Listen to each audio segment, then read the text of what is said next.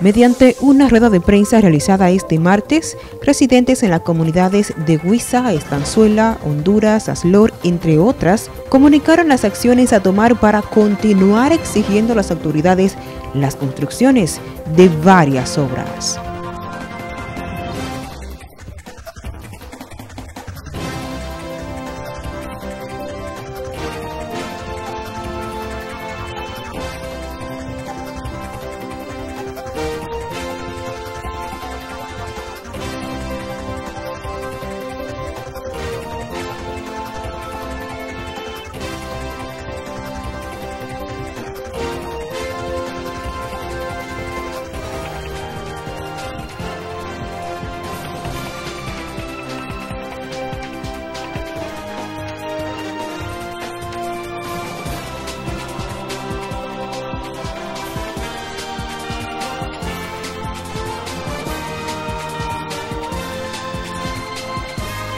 Anunciaron paralización huelgaria por 48 horas en el próximo mes.